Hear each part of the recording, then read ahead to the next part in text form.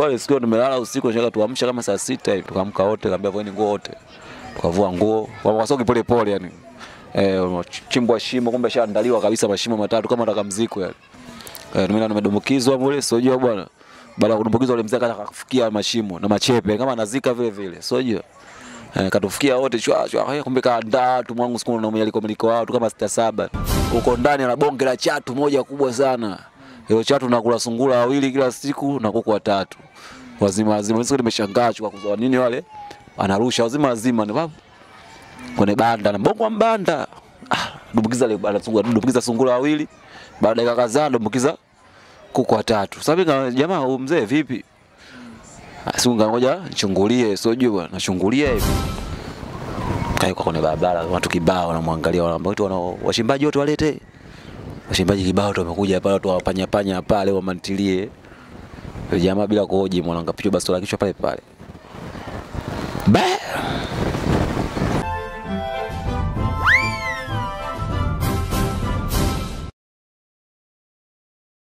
Wengi tumewahi kusikia kuhusu biashara ya madini na wanaohusika kuifanya biashara hii wengi wanaitwa mabilionaires, lakini wale wachanga huwa wanaitwa wana polo. Sasa sijui inakuwaje, lakini hapo mengi ya kuyajua ndani ya biashara ya madini. Kuna mikasa mingi pamoja na matukio mengi makali kuliko kazi nyingine yoyote ile ambayo inaweza kuwa na mikasa mingi zaidi. Tena mikasa hii ni ya ajabu sana, na kabla ya kwenda kuijua, nikukumbushe tu kila sekunde moja ina thamani kubwa zaidi katika maisha. Hakuna muda wa kuupoteza, bofya subscribe kisha alama ya kengele, tuwe familia moja. Tiki TV kiakili zaidi. Naitwa Kelvin Shayo, wanamuita champion kutokana na harakati zake za upambanaji, ndio ambaye nipo naye hapa. Twende tukayafahamu majina halisi kwa watazamaji wetu. Ya Shabani Koba. Shabani Koba, mzaliwa wa wapi na umri wako? Ni mzaliwa hapa Dar es Salaam, umri wa miaka 26. Umri miaka 26. Mm, na 26. Sasa ni kasoro minne. miaka 30 kasoro minne. Historia yako kielimu kuelekea kwenye safari hii ya kazi ya uchimbaji wa madini.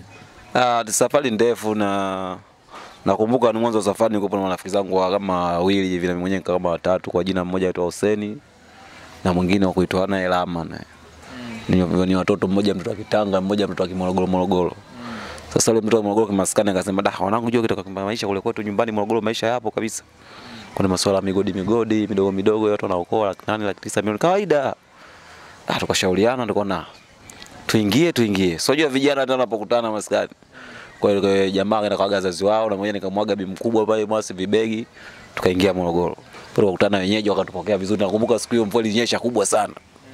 Eh, wanangu wanabeba hapa mazingira kijijini tuweze kulala bidi tusogee mbele kule. Karibia na mgodi mvua inaponyesha usiku ndo hela sababu walinzi wanakuwa hamna.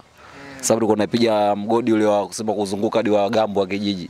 Sababu kuna wagambo hapa wapendi ule mgodi kuchimbwa kwa sababu unapochimba tu veni inakuja hadi kule kijiji. Wenyewe kuna kitu inaitwa veni, ni sample ya madini katika watu wa mgodi wenyewe wanaelewa. Basi bwana, tukaenda kule kufanya fanya harakati zile kweli. Uzoefu katujia baada ya kufanya kazi na wenyewe na wenyeji. Tukaona wa sometimes laki saba mnagawana laki nne lakini kwenye madini hela na bado unaona ndogo kwa sababu unapata laki saba mwezi mmoja siku apiga milioni mbili milioni tatu. Unaona da bwana bado tupo. Sasa maisha yanaendelea, maisha yanazidi kusonga. Tumekaa siku mjamaa kalopoka tena, bwana, kuna sehemu una, watu wanapiga sana hela mgodi wa miwamba huko. E, mzee anachukua watu kama 30 anahitaji kutoka mazingira watu wachimbaji wadogo wadogo.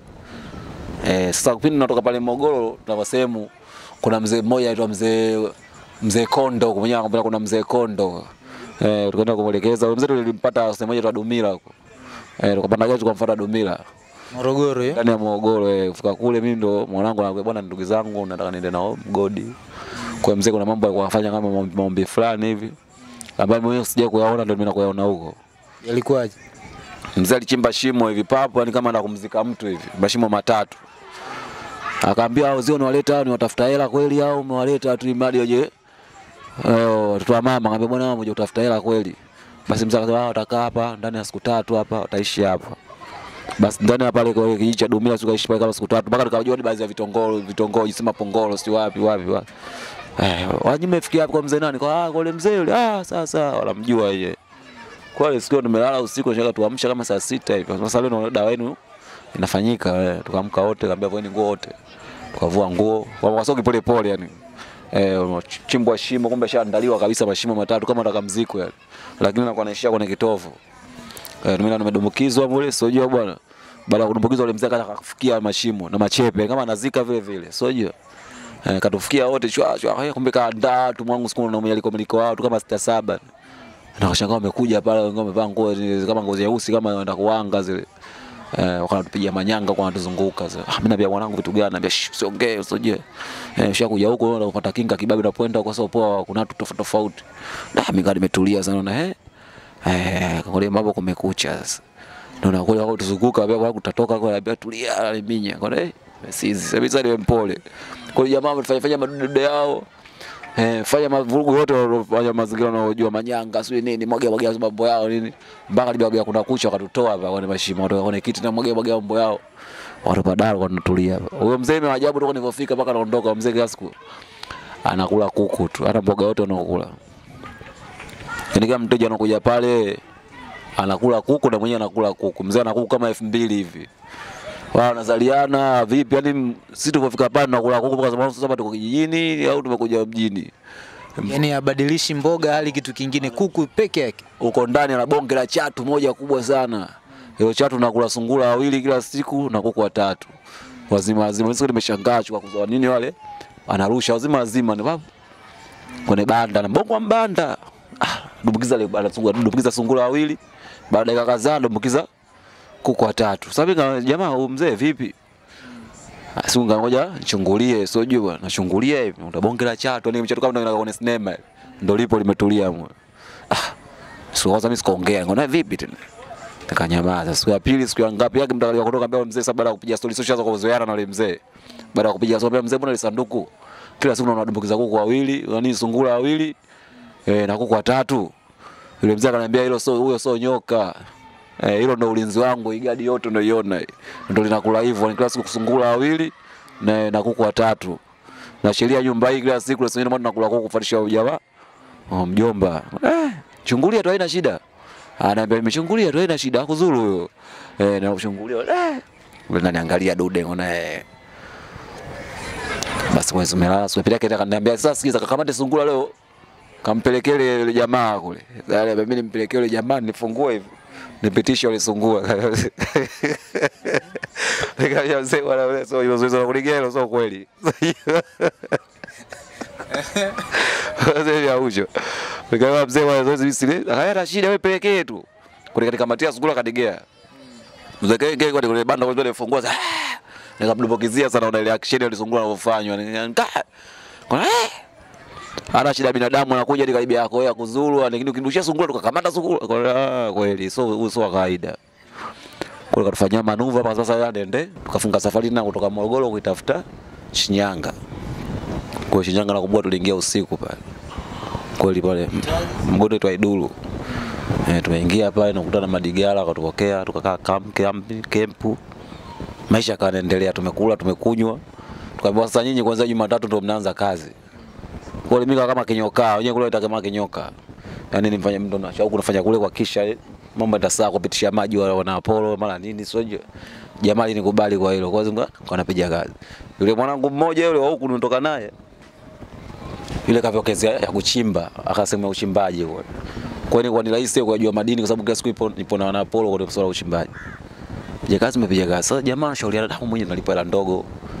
Kuokoa vinakuwa pointi tatu pointi nne maisha hadi Muona bwana, mbona tukasema kuna mtu mmoja alikuja akapiga milioni sio mia ngapi katoka. Sijui nani kapiga. Jamaa ananiambia bwana wangu mika kichimba naipigilia na pointi kibao nishaziweka geto. Kaambia ah eh. Sasa kuna vyema mnakuwa mnakaa polini kuna vyema. Lakini chakula kuna mama anapika ni kila kitu.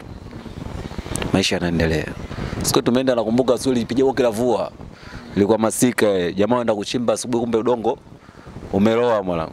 Wale watu sita wanaenda kuchimba kule urembodi goma limerudi.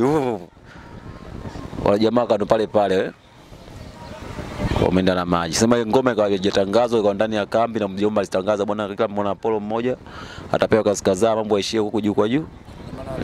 Walifariki. Mimi nikamwambia mwanangu hii sio kazi. Ambia mwanangu tunaondoka vumilia. Sio unajua bwana sababu bado nitakiza kidogo sababu Dar es Salaam wazangu kishapagaa kweli ile atafuta hela kweli. Nenda siku tatu yake mwanangu tumekaa siku hiyo jioni. Ilikuwa siku Jumapili nakumbuka.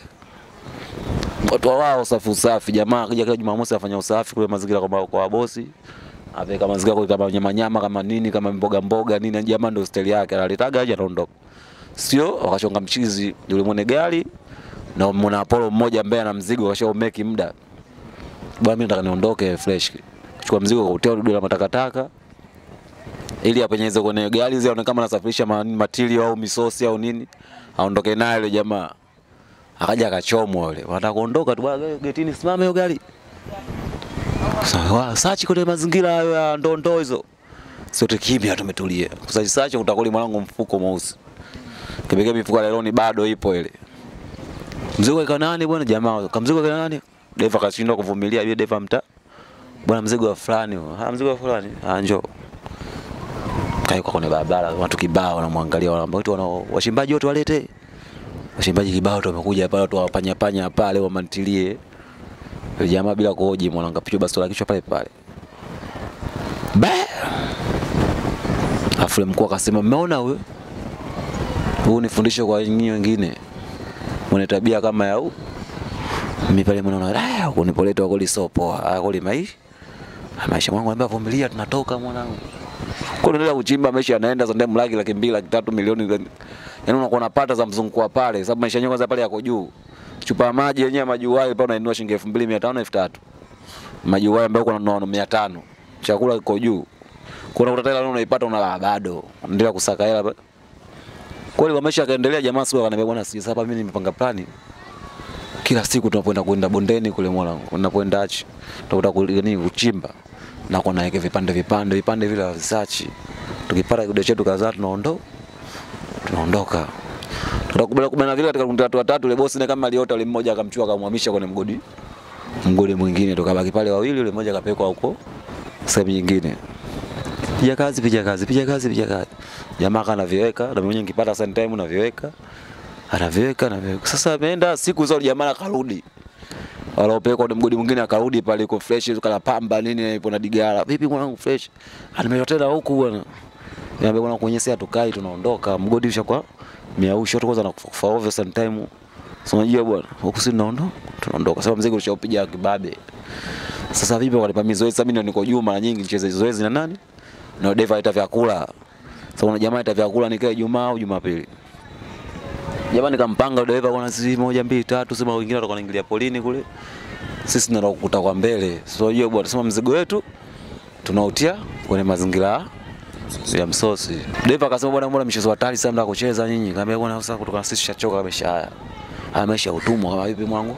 Sisi nakupanga bwana.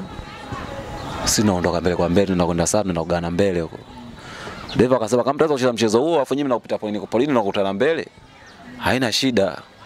Kwa hiyo mimi nikawapanga wale washaji zangu, washaji akasema basi poa kama hivyo sasa ujamaa si akatuacha bwana. Nikamwambia hizi kutuacha, akituacha sisi na mtamvizia msituni tu muda wa kuleta vyakula. Ana ujanja atarudi tukuleta vyaku vyakula. Vyakula ah basi kama vipi poa. Sasa kile plan tulipanga kule unakoshwa mali mali kule mzee tumeiona kule madini kule hapo. Ngamba sasa sikiliza. Huu mzigo mimi na hizo jamaa atatuacha kama hivi tufanye akili tunayojua sisi tufanye kama tunampa mzigo yule jamaa ili kusudi tusubiri mbele na gari akiti mzigo tuupekisi wenyewe unasemaje kama kutoka polini tutoke na mzigo wetu kuliko tumpe yule jamaa mzigo hela au ah kweli mwanangu hii hela tukapanga plani siku hiyo basi. jamaa ipoenda mjini tukamwagiza mipira ndio bwana unapoenda mjini tu njoo njoo na mipira mipira kama ya basikeli unafungia watu na nini tukamtia mipira tu mitatu kapewa kama shilingi elfu kumi hivi aje na mipira mitatu kwa jamaa alivyoenda siku hajafanya makosa hivyo rudi poli kaja na mipira ile. Pia tukaicharanga hivi na viwembe, si unajua bwana. Eh, tukachukua midude kwa midude fulani inaitwa majani kama ya mibua hivi. Kutia yale madini kwanza kujibandika kwenye kwenye nguo afu unafunga na mpira. Ya unafunga kama kipira fulani unajibandika afu unafunga na mpira kwenye mapaja kwa sababu unasachi unasachi hivi. Ah, kusachi ndani, ndani unafunga na mpira afu unavaa nguo mbili, unavaa jezi zako mbili tujistovusha ule mzigo. Sasa katika unavesha ule mzigo ule jamaa yule katika kundi la watu watatu ule mmoja yule mwanetu mmoja. Hajatuambia kama kuna mzigo kumbe kashafanyaje? Kaumeza bila kutuambia. Akasema kama mimi tutafumaniwa huko madini tutotoka nayo ndo yakwa. Safari ikaanza. Kule mzee dereva tukampanga hivyo kuja bwana vipi wadogo vipi nikamwambia kule mzigo nishawe. Wao tulimwekea tu boshi ndambia haina kitu. Mzigo tulikuwa tumeupeki sisi wenyewe. Yaani kila mtu kajifunga anavyojua na kwa jamii wote kila mtu kajifunga kwenye mapaja. Kumbe mzigo dakika visho vidude kama vitatu vidonge, unajua hivi nitatoka navyo tangi kama tu huko. Hivi nitaishi navyo. Kavimeza yule mshikaji. Poa. Dereva sasa mimi nakuta mbele kule tukatoboa senyenge. Sababu senyenge ndio inaikata taratibu taratibu muda mwingi na mkazi. Taratibu mpaka kupata sehemu ya kutoa ya kupita. Tukatoka, tukaenda ndani ya poli. Gari inatokea kule getini. Simtoka nyuma senyenge. Poli kwa poli na ule mshikaji, poli kwa poli, poli kwa poli, poli kwa poli. Gari tupoliana nao unaweza kutoka hapa kama na unaweza kufika kama Kiruvya hivi au yani kama kibamba kibamba hivi kupitia njia ya kati, poli kwa poli, miti, ndege ni chache mnapasua mnaiwa ile gari. Gari ikifika kule kusubiri ni muda nusu saa mjatokea naondo kwenda kwa ni speed ya kwenda. Ni kutoka pale ni speed. Mnakimbia. Jaba kwa hivyo tumeondoka tumeondoka tumeondoka. Kwa sababu vidude hivyo kwa vina tunaondoka nayo mshikaji kila kipiga hatua kama vinamka vina mata. Sababu kwanza hatujakula hatujakula toka tulipokula usiku chakula cha cha kempu. Asubuhi hiyo zote tunafanya mpango wa kula sisi nafanya harakati za kuondoka nafanya harakati za kukimbia na mzi. Watu wanakula sina nda mzigo. Sema muda wingi tumetumia nafasi tunaenda kula tu si ndio muda ambao tulitumia kufunga mzi kwa hiyo vile hivyo vimeza vimeza kavu wakati kaida tu mabalia hivyo siasa kwa watu wako na meza kipindi washakula alafu na vitu wanavibeba anatumia kwa sababu ya kualishia sasa kameza vile vidude kavu. Tumeondoka kila tumetembea safari ndefu kama kutoka hapa kama na Ubungo kama tunapachapanisha kwanza suka suka hivyo jamaa speed inapungua. Kambi wewe changamka tuondoke Sababu mwaweza kumwona mgodi akikuona ni majaa ni majaa. Na ndugu yetu tumesoma naye shule ya msingi na kila kitu Ni yule wa Dar es Salaam au yule wa Morogoro? Dar es Salaam. Sisi watu wa Morogoro wale tulipofika kule sisi kwa tunashibana wenyewe watu watatu huko tumetokea huku. Eh, kila mambo yetu tunapanga tuko watu watatu. Maana watu wengine kuna shindano kama marafiki ambao tukutana nao kwenye safari yetu. Mm. Lakini sisi watatu ambao ndio kila muda tukikaa hapo tunafanya hivi tunafanya hivi tunafanya hivi. Sawa, jamaa akawa anapunguza speed. Speed kila tunavyoenda mzungambia ah sio kweli bwana mwanga kama vipi? Mtie begani huyo. Eh, kuna mmoja mbavu mbavu ngambia mtie begani jitu moja la la kutoka Iringa huyo. Akamtia begani. Tukaondoka naye sasa safari inazidi kuwa nzito. Wewe vipi mwanangu na jamaa zidi anajua kuongea ukweli dakika za mwisho. "Eh, Mweke chini, mweke chini nasikia kama mbona kata. Tukamweka chini.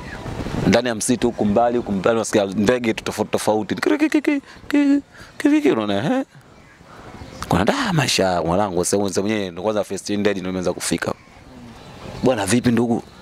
Ndo kwa mwanangu wa kwanza na mtu ananikatikia roho kwa macho yangu. Bwana mimi siwezi kwenda.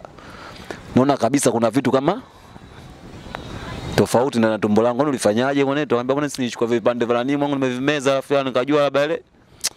kabisa mwanangu ulijua au? vipande vya? vipande vya dhahabu fulani alivimeza kupitia mwenyewe, akamwambia kwa ibani yangu nikula mkate vingetoka, kama niko ningekula mbele mkate vingetoka. Nikamwambia mbona hujatuambia kati dhahabu sisi tunatoka nazo kibao tu ile mfuko ndugu yetu. Jamaa anambia "Ah, siwezi, tajiri naweza nikafika. Tukamshika huku na huku, tukawa tunaondoka naye. tunaondoka tunaondoka naye tena kama safari ya kutoka hapa kama na road hivi, lakini kwa kipolipoli Ukisema na road kwa mtazamaji aelewe, yani umbali kama kilomita ngapi? kama tuseme kama mita moja ni uwanja wa mpira tuseme E, kama uwanja mpira, jamaa kadondoka chini, mapovu akaanza kutoka mdomoni na masikioni anaanza kutoka damu. Jamaa sauti inaanza kutoka kwa mbali, yani bwana, mimi siwezi kwenda huko. Kama nyinyi mna moyo, mimi mzigo wangu niliofunga kwenye paja huu mtampelekea mzazi wangu, alikuwa na mtoto mmoja yule mshikaji, alifanikiwa kupata mtoto mmoja hii kwa ajili ya mwanangu Sara, mwanae baba Sara mshikaji. Basi tukaangaliana tukasikilizia pale, basi safari tena ikawa hamna tena, gari kule natusubiri sisi. Sisi tumekata na ule mgonjwa pale ki saa kumi, kumi na moja, kumi na mbili mtu kaganda. Tukabidi tumfungue kilo mbaya sasa. Yule mwanangu anambia tuondoke, kaambia ah, tuwezi kumwacha hivi huyu binadamu. Wamfungua tukamstili sehemu, tukaondoka na safari yetu. Kachukua madini. Eh, tukachukua ile madini Alikuwa kajifunga. Kajifunga. Aliomeza? Alomeza tukaachana nayo sasa, mtu yuko tumboni. Sisi tukachukua ile tu tukafungua na uhusia alotuachia yule bwana ni nyumbani hivi hivi hivi. Ulinzi kwa ajili ya mama yangu, madini kafikisheni kwa ajili ya familia familia yangu. Kwamba kwamba hapo kwenye uhusia hapo kidogo tuweke vizuri. Yaani yule baada ya kutukabidhi sasa mimi siwezi kwenda tena safari. Kwa hiyo cha msingi haya madini me mnapofika kwenda kuuza au mnapopenda kwenda kuuza au mnapoenda nyumbani. Naomba mali yangu mnifikishie nyumbani kwa mama yangu ajili ya kumlea mwanangu. Akatoa ile mzigo na wakati tunaendelea kupiga story hajafika muda. Jamaa akakatamo. Akakata. Pale sasa bibi jamaa ananiambia sasa mwanangu tumchimbie shimo tumzike, nikamwambia sasa hatuwezi kumzika huyu. Kutokana na mazingira kwa hatuwezi kumzika. Kwanza hatuna vifaa vya kumzikia huyo. Tutamzika kama tutakuwa kama tumemtupa. Umeona bwana, cha msingi tutembea hadi kijijini tukaelekezwa kwa watu wote wa kijiji, bwana, tumemkuta mtu, tusiambie kama ndugu yetu, tumemkuta tumemkuta mtu. Ina maana atakuwa kustiliwa huyu eh, labda viumbe shanga binadamu akamstili kabisa, ipate kazi mara mbili. Sasa njia ya kuondoka pale ikashindikana. Sasa akili hapo pale unakutoa taarifa ndani ya kijiji kuja kumsave ule mshikaji. Kwa hiyo tumetembea kilomita ndefu, unaweza kutoka hapa ujue hata na unafika hata Ruvu, wapi hapa Kiluvya. Tunaposema kutoka kiruvya interview hii inafanyika Dar es Salaam katikati huko karibia na Magomeni. Kwa maana hiyo unaweza ukakadiria umbali wa Magomeni tu Kiluvya. Tuendelee. unaelekea kama Kiluvya umbali wake ndani ya poli Kimbia tumefika hadi kule. Utakweli ndio kulimeza kuchangamka changamka nikija hapa nyumba hapa nyumba pale nyumba pale nyumba pale lakini kuna wazee pale. Eh, tumeingia pale hodi karibu na shikamoni mabwana mzee mjumbe wa mazingira haya. Yaani kwa kule tumeenda ndio fika sisi kwa kijijini hata mjumbe nyaa ajui masuala ya mjumbe. Wakati bado kuna mzee wa chifu yani wa mazingira kama ndo mtu mzima fulani wanamtumia kama ndo kiongo.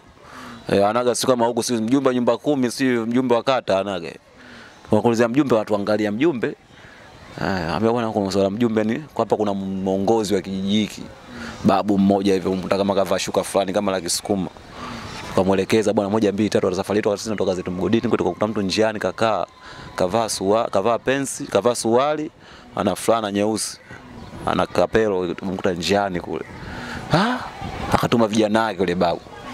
Bwana tena vijana mwendo kwa polini wale jamaa sasa na baskeli zao za kipolini polini, sio pikipiki.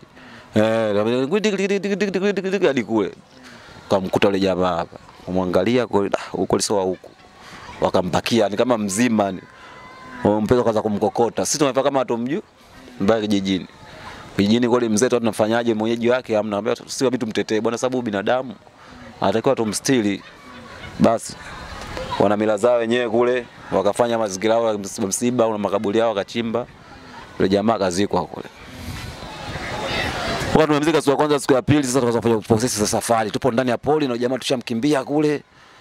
Itana jamaa kwa sababu tu- hatujampiga mzigo wake ambaye unajulikana. Siko nampiga mzigo wa kumea kidogo kidogo. Tofauti na mzigo ambao umempiga labda kuchimba mmekimbia. Kwa hiyo haina tatizo, maana tumekimbia kazi. Anavyojua yule boss. Hamjaiba yani. Eh, kwa sababu mzigo kuna kile ukipiga pia kidogo anaweka. Piga kidogo anaweka. Kwa hiyo ilikuwa haijakuwa msoke vile tukajua "Ah, labda jamaa amekimbia kazi watoto wa mjini. Kwa sisi tukaishi kwenye kijiji kile siku ya kwanza, siku ya pili. Eh, siku ya tatu tukachukua majembe. Sasa kwa tuka masuala ya dhahabu, alijiambia mtoto kasi na madini. Tukaingia na shambani. Yule babu mwenyewe ana watoto watoto wake pale majembe kila aina. Jembe lile mtoto mdogo lipo kwa babu nakumbuka. Tukamsaidia kwenda kulima anaambia toa. Sasa ushakuwa kulima sasa. Tumetoka kwenye madini tunamsaidia babu kuli. Tumekaa kama wiki hivi. Ndio nilipojifunza kula ugali na chumvi. Yaani mzee anakuambia unga wapo mboga hana. Si unajua bwana. Na siku sema samba sema tumsubiri mtu kenda sijui wapi huko ndo aje na mboga za majani polini kusina ubao tuelewi. Kama mwanangu apika ugali tu hapo kama kuna chumvi weka hapo. tukaona kula ugali tunaangaliana tunakuja na chumvi nga nga nga. Tunakula mikosho mikaa sisi lava chumvi ndo mboga. Tumekaa da kuna goli mwanangu wa maisha. Sema tatoka. Kama kule mtu katoka kijijini kwa jana mboga fulani inaitwa si chunga sijui wala jina lao jina lita watu wa Shinyanga. Wamepika chukuchuku shakula chunga chukuchuku. Ndio alipoenda kuila huko kwa bibi eh ndio mboga zetu hizi. Kona eh bwana kweli. Nyama wakiamua kula nyama sababu ni wafugaji kama kula nyama wanapika mboga za nyama mnakula mpaka lakini mboga nyingi sana za majani. Tumeishi hivyo siku batizo gari ikapita. Kwa gari kwa inakuja kwa wiki mara moja.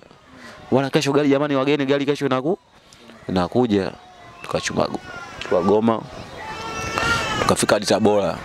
Tunachukua gari Tabora kuja huku. Tumefika huku sasa tumekaa siku ya kwanza siku ya pili. Yule jamaa wangu ananiambia madini bwana sikiliza bwana. Yule marehemu yule kashakufa na katika mazingira sasa kutoka mazingira utafutaji ujue kufa na kupona ni kawaida. Kawaida kama vipi? Tugane vipande. Wewe kama vipi utafute soko lako kimya kimya na mimi nitafute soko langu kimya kimya. Tukaenda grupu mzigo tukazulumiwa au tukapata hela kuzuru nini? Tukapata hela ndogo.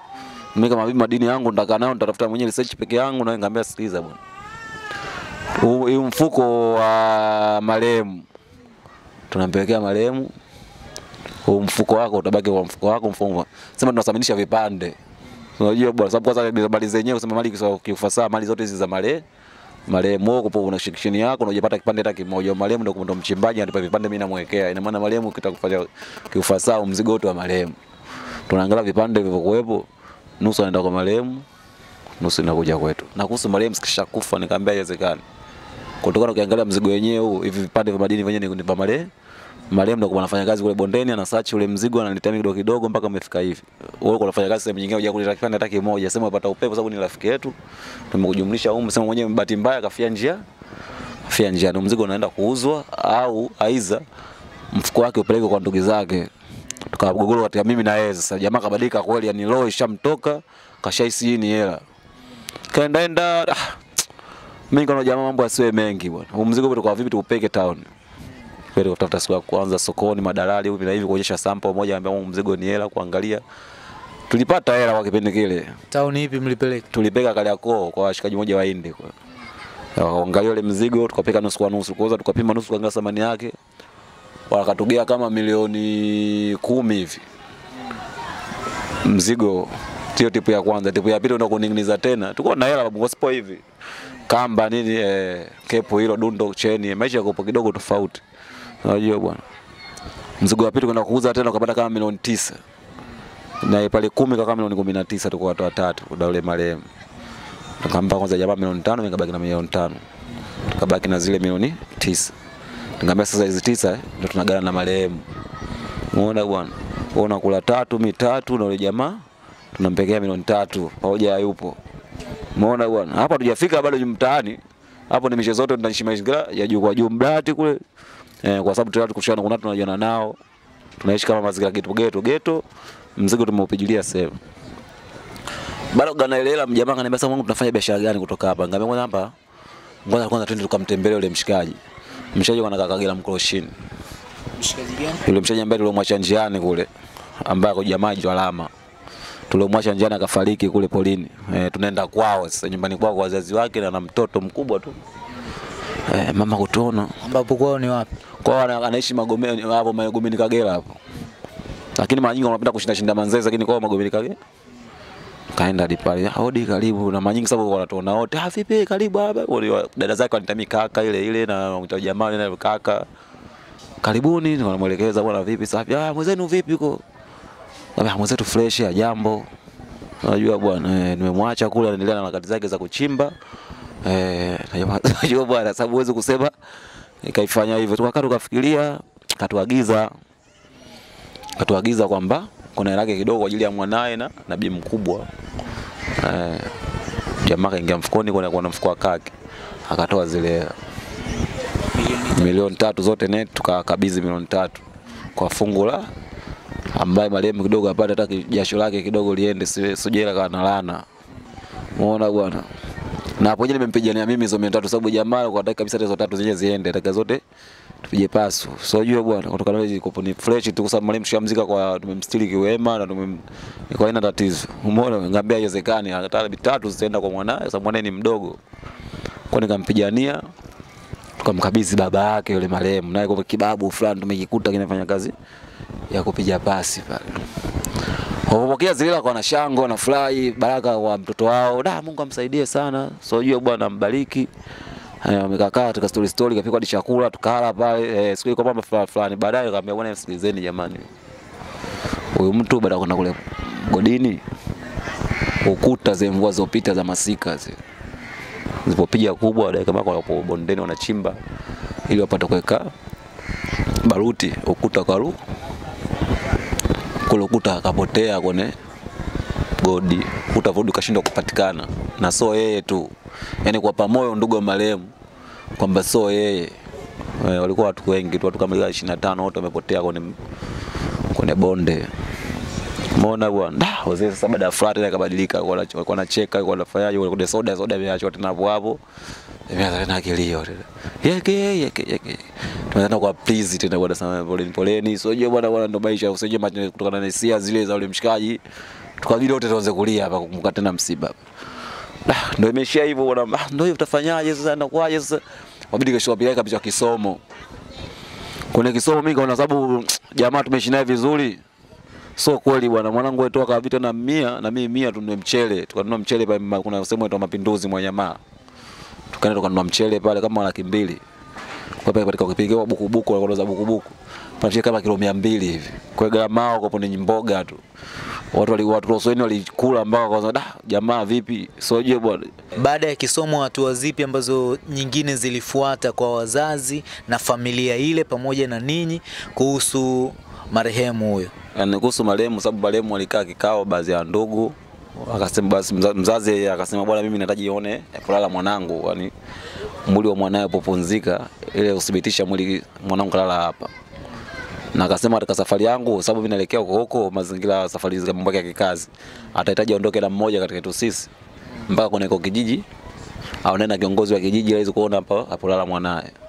Mimi nikamwambia mzee, kwa kipindi hiki, kwa sababu nishajitolea sana mwanangu hapa, anza kupeleka na taarifa zote, kwa sababu akakuonyesha hadi ndani ya kijiji. Mimi na safari zangu za hapa na pale, sababu kuna biashara nimeshaipanga na mtu kuifanya kwa kipindi kile. Kwa hajachukua muda sana, kama siku ile, sababu ni swala la Jumaa, nakumbuka si Jumapili, Jumatatu, Jumanne wakafunga safari ya kutoka hapo kwenda huko, tupomwacha mshika, mshikaji huko eh, kijiji fulani hivi kipota katikati, kama anaweza kumpanda huko, akaenda huko. Mimi nikaenda zangu masuala biashara zangu za kawaida. Eh, kwenda kule ule mzee akabahatika kuona mwili wa Palala mwanae unetuta, wakafanya baada zingine za kwao za kimila huko. Eh, kwa na wazee wa kijiji wakathibitisha kule bote kukuta mwili vijana kutupata sababu tuonekana sisi kama ndo tumetoa taarifa ndani ya kijiji kumwokoa ile jamaa siliwe tena na dudu wakali poleni. Kumbe sisi katika safari kupo nayo ile jamaa sema katika njiani kupitia Madina. Maana sisi asili ya kambi tulikuwa tunayo kwa kipindi kile. Sema tukashindwa kuitoa kwa sababu unajua tutaenda pata matatizo. Sio je bwana. Basi mzee ashukuru Mungu akarudi zake huko na biashara zake zingine. Kwa maana hiyo hakuwahi kuja kujua kama mlikuwa naye, na tatizo lingine alijua tu moja kwa moja kwamba aliangukiwa na ukuta. Yeye alijua aliongana ukuka na watoto waliondoka hapo kutafuta maisha huko kwenye mgodi, ndio kitu kilichojulikana hapo Mpaka leo hii mpaka leo hii. yeah. Sema alienda dakika ya mwisho, ndo kuna ndugu yake mmoja, sababu ndio ni kijana, baada ya kuwa kuna mwanae mmoja na alikuwa anakuwa kuwa under 17 sasa hivi kwa mtu mzima. Siku moja maskani ndo kaanza kumhadisia hiyo story, kana kumhadisia mambo da siku moja utaenda kutafuta hela ndugu yako hivi na hivi. Msakaji goli, mtafuta goli maisha yule, sema ndo moja mbeki na familia ungekuwepo hadi leo, ukashafika mbali sana. E, yule kafa huko anatafuta hela, akasema kivipi? Ndo tukaanza kumhadisia moja mbili tatu, kama ndugu yenu alimeza madini akamkatikia tumboni. Niliweza kumwambia katika kundi la familia yao ni mtoto mmoja tu wa kiume kama historia. Uli, ulizungumzia swala pia la wakati ule yule wa kwanza ambaye ali- alikamatwa akiwa na, anajaribu kutoka na madini yeah. alipigwa risasi hadharani. yeah, alipigwa risasi hadharani kwa sheria za pale, yani pale mfanyakazi wa pale ukijifanya mkola, wewe kwa lugha ya kule polini ukijifanya mkola, yani mtu ambaye chochote mkono mkono ndani ya mazingira ya mali yake ni mgodi. Waga akatoa action moja ya polini na swala ndio shangaa sababu nilikuwa ni mgeni.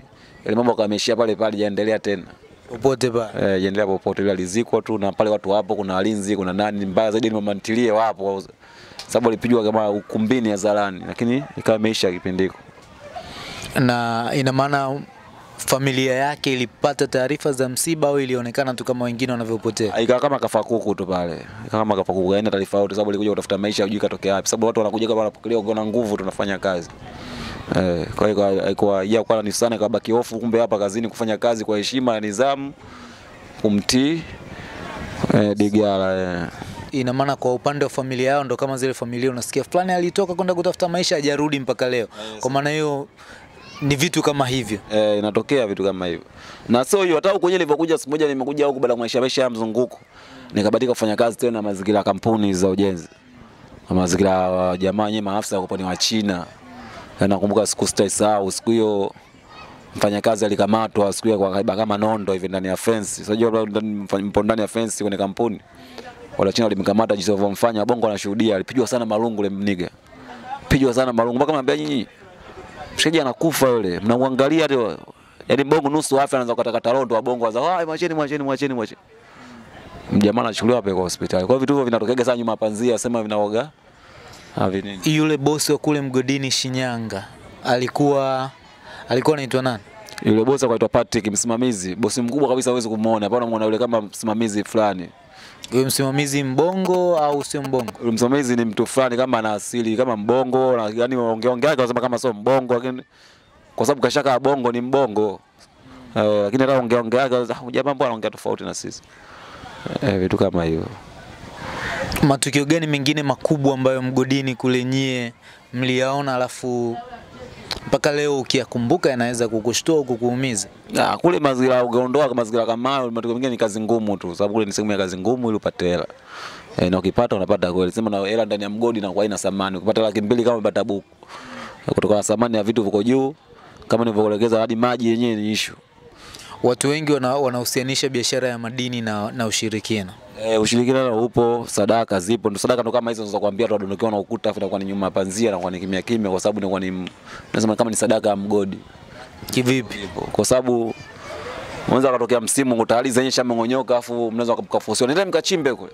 Biashara ya madini mara nyingi sana imekuwa ikihusishwa na masuala ya kishirikina. Yeah, hiyo ipo. Hata mgodi wenyewe kuna mambo mengi yanaweza katokea lakini kwa ni kama ni vitu vya kawaida ndani ya mgodi. Siku kwanza shangaa mwenye mgodi digara mwenyewe bosi kashangaa bwana leo peka kwenye mgodi fulani ng'ombe sita mchinje. Siku mtakunywa pombe, mtakula, mtafanyaje kila kitu. Miaka mingine shangaa wamekufa watu wawili. Yaani ni vitu ambavyo vinatokea mara kwa mara, ni vitu vya kawaida. Kwa hiyo hata mwenyewe mchimbaji unajua mimi nimekuja huku kutafuta maisha, ni vitu hivyo vyote vinatokea muda muda wote. Kwa hiyo upo tayari tayari kwa lolote linalotokea. Kwa maana hiyo wanatoa sadaka hata za binadamu. Na sadaka inatoka sio kama ile kama mtu anadondokiwa sandemu mmekaa mmeenda kuchimba mtu kapotea tu kuja kujiujuu juu kumekuta ampo mpungufu tafuta tafuta na wewe tafuta tafuta na yeye ji kwa hata mwili. ah, inakuwa mwili hamna na mtu aonekani kwa hiyo na sandemu shaye kutokea siku moja tumekaa mwanetu kaingia bondeni kwa chini ji kampaka tege nini? Kwa sababu kuposikiwa na wana, wanavuna kwa baruti. Bandike kabandike baruti baadaye ya kubutua ili wachukue ile mawe wakaenda kusaga kwenye mashine kana kwa baruti washakuwa wamekaa sio kawaida ukienda chini kuna bidu kama masama matatu au manne mwisho. Wameshangaa saa sita saa saba saa nane saa tisa saa kumi na moja. Ah, mmetumwa watu mtafuteni chini kule.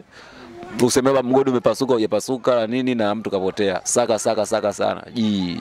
Baruti zile zikuwa zimepiga. na baruti hazijapiga na zimekuta zimeganda vile vile tu Yaani yeye alivyoenda kazi seti lakini ndo Okay, kapotea. lakini mwenyewe aonekani kwa wapi. Tafuta sana kwa sababu sitaendelea kumtafuta kesho asubuhi labda ushaga usiku kutoka na matochi yao kama hivi. Ikani ji, ya pili yake tumetumwa hadi sisi panya pale wa mazingira pale. baki siku kama vinyokaa kule. Saka saka sana, hamna kitu ji. Basi kaisha hivyo tuendelea kumtafuta. Matukio mengine ya upotevu wa watu yalikuwa yakitokea. Ndo kama hivyo alitokea mara moja moja baadhi matatizo kwa mwaka, ni mara nyingi kwa mwaka mara moja mara moja sana. Lakini mara nyingi nakuwa sanda wenyewe kwa wenyewe mkaziana kuhusu kwa sababu mule nimekuta watu tofauti tofauti tu la Ilinga la Mbeya la wapi la wapi. Labda mmekosana wenyewe tu kauli kupigana mibisu labda bahati mbaya. Wenyewe nayo sometime ipo. Na nyinyi mlivyokuwa mnajua kwamba kule kuna mazingira ya watu kupotea, watu kuumizwa, watu kutolewa sadaka, kabla ya kwenda mlifanya mazingira gani? Ah, sasa sisi kabla kwenda kule kuna mwanangu mmoja na ambaye na huyo yeye ndio master ambaye ndio kabaki njiani. Alobaki njiani ndio kumtokea kila kitu leo mfumo wote. Huyo ambaye alifariki sasa. Eh, yani ndio kwa kila kitu sababu kashaanza kashatembea sana kwenye migodi mingi Tanga wapi wapi wapi. Ina maana kwenda kule kashatueleza bwana huko unapoelekea sio sio poa. Kama kuna moja kuna mbili kuna tatu. Kuna unataka kuleta kwa kule polini kule. Sikwambia sisi hatuingii ndio kutasikia pili yake wenzetu. Wamepata majanga. Mgodi umebomoka bwana. Ah, leo mtu kapotea. Siku na sisi ni kawaida tu tutafanya kazi. Maisha yanaendelea hujajuu fresh. Kwa maana hiyo uliamini kwamba katika kile ambacho alikifanya huenda kiliwasaidia. Eh, niliamini hivyo sababu kutoka na mitihani wa kule tunakutana nayo alafu na sisi tunaishi vizuri tu. Niliamini mzee kweli mtakapofanya maombi yake ya kibabe. Kwamba kuna siku inatokea na ilikuwa inatokeaje? Sasa nyinyi msiende alafu watu wanapata matatizo. Uh, sometime unakuta "Ah, bwana leo bwana nyinyi wa watu fulani fulani fulani leo ni wiki anaingia fulani fulani fulani na fulani. Sasa so, anaingia kwa zamu chini kule. Kwa siku ambayo nashangaa sio za wiki sio wiki ya kwenu nyinyi ndio wiki ambayo inatokea majanga. Nashangaa vua kubwa linapiga. Eh, au dongo limeporomoka tu lenyewe au bauti limemzuru mtu, vitu kama hivyo ni kawaida ndani ya mgodi. Lakini sasa kipindi cha zetu wetu sisi nakuta siku inaisha vizuri kwa uwezo wa Mungu. Katika maisha yako yote ambayo uliishi mgodini pale, umetusimulia baadhi ya vitu. Ni kipi kikubwa ambacho ulijifunza kuhusu maisha, kuhusu pesa na kila kitu? Da, yani kuhusu kwanza masuala mgodini nilivyoishi. Kwa sababu nimeishi maisha ya kupitia kazi nyingi nilizofanya. Lakini katika kazi ambayo sitaisahau mmoja wapo kama ile ya madini. Sababu ni kama pata potea. Kuna vitu vingi nimeviona kama hivyo watu kupotea. So unajua bwana watu kufanya vitu mbalimbali, mtu kupigwa shaba katika macho yangu kuona vitu ambavyo singekaa usoni nisingeviona. Survival yangu sababu kupata na kukosa yote ipo, nilipambana na kweli nilibadilika kupata hela bado mdogo. Kwa sababu hela nilipata mimi kwa umri wangu nilikuwa bado mdogo, lakini jitahidi kajenga kijumba pale cha vyumba vitatu na guest room. Wao wananishambulia ndo iko. Bado baadaye baada ya biashara zangu zilipokuja kukatika, tuweka biashara zangu za kaida kaida kwenye mchanga nini nini. Lakini kipindi kitambo nilikuwa niko vizuri. akumbe kumbe katika hela ya mgodi ulifanikiwa kujenga. E, nilibahatika kujenga kule kule Morogoro sasa. Nilienda kujenga kule kule Morogoro vijumba cha vyumba vitatu, sitting room nini na eneo tukaliacha.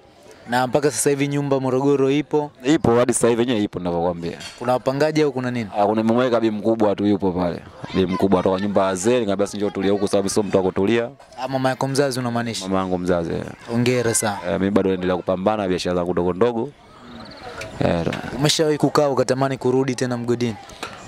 da katika maisha ya mgodi kutokana na mwenyewe mgodi na ujua na mazingira ya kurudi tena mgodini kwa kipindi hiki na mpango labda kurudi Morogoro, labda mgodi midogo midogo ya Morogoro Morogoro wapi, lakini sio migodi mikubwa. Wakati unaenda mgodini, safari yako ya kwenda mgodini ulianza mwaka gani? Ilikuwa elfu mbili kama kumi na saba kumi na saba nahisi. Kwa hiyo mgodini kule ulikaa muda gani au mlikaa muda gani? Tumekuja hadi mwaka elfu mbili na ishirini ndio tumerudi juzi tu hapo. Kumbe kumbe mmekaa tumekaa sana hadi juzi ndio tumeanza kurudi mazingira haya na maisha yenyewe kupomoka baada ya kipindi hiki cha hiki cha mwishoni mwishoni cha Magufuli hiki eh, ndio mambo yanaanza kwenda kombo, lakini bai za hapo Magufuli mwanzoni mwanzoni maisha yako yanaenda vizuri tu, yaani maisha hujapigwa bomu hapa hapa kati tu, maisha kayumba. ndio tukaanza kwa kuyasukuma zile kutafuta tena laki. kijana ambaye anaisikia biashara ya madini anakutazama, au mtu mzima yeyote popote pale na anatamani kuifanya, hebu ongea naye chochote. Kabla kwenda mgodini, kitu kwanza kufikiria kwanza, naona maisha yake kwanza, naona kama kaikaleani, sababu polini kuna mambo mengi au mgodini kuna mambo mengi, unahatarisha maisha yako. Kwa hiyo unakwenda kutafuta maisha hela nyingi, basi jua na maisha yako umeweka mkononi muda wote. Kwa hiyo ni vitu vile vinaweza vikatokea, ni kawaida. Kama umekubali na yote hayo, basi unaruhusiwa kwenda mgodini. Mm. Kama una watu wanakutegemea na unahisi Unaona maisha yako, kuna Hasani, kuna Juma, Juma anaweza kuona kasoma zaidi yako wewe mia tano mia sita, bora tafute maisha yako tu mengine eh. kosa lipi ambalo vijana wengi wanaokuwa kule mgodini mara nyingi huwa wanalifanya? Mgodini mara nyingi watu kule kule wanafanya mpaka wafeli sana ni starehe. Sometimes unapata sema kama nilivyokuambia ukiwa unapata laki saba laki nane kwa mtafuta madini unakuwa umepata elfu kumi kwa muda wa mzunguko ulipo pale, sababu leo umepata laki, umekuta labda umepata gramu tatu, gramu umeenda kuuza labda umepata laki saba laki nane. Jana umemkuta mtu kauza mzigo kapata labda milioni mbili milioni tatu, wewe laki nane yako unaona kama buku.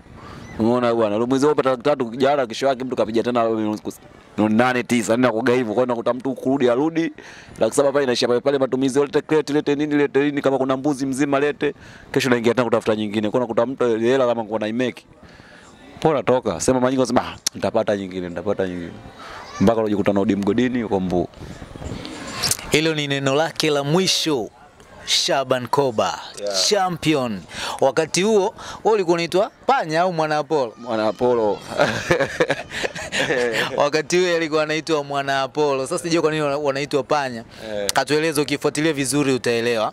Umesikia, umeelewa vizuri maisha ya mgodini. Kwa nyie ambao mnatutazama sasa hivi, ambao mna mpango wa kwenda migodini au kwenda mgodini kuyasaka madini, mpunguze starehe ili muweze kumake champion au Shaban Koba yeye kafanikiwa, amejenga nyumba, mama yake mzazi anaishi.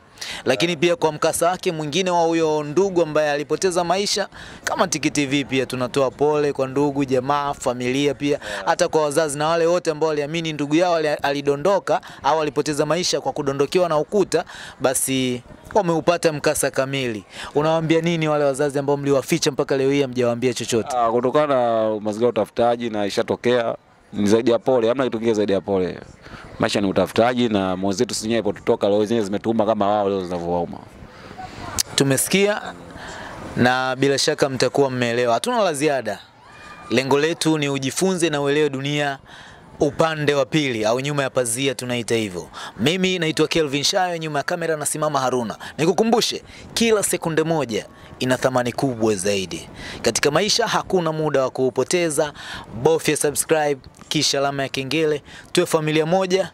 Tiki TV kiakili zaidi.